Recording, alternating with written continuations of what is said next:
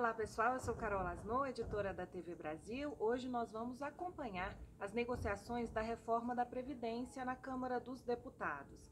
A expectativa é que o governo volte a discutir o assunto com as lideranças partidárias.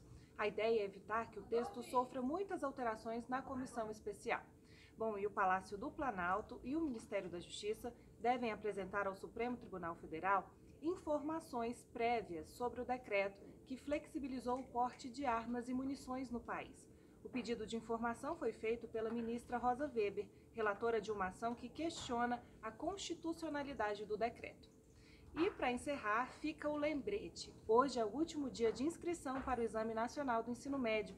Mais de 5 milhões de estudantes já se inscreveram pela página enem.inep.gov.br.